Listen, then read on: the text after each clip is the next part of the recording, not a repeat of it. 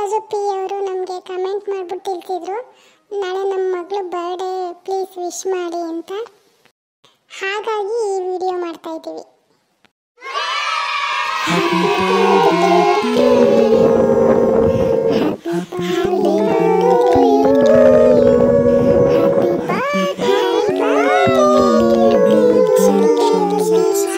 Happy.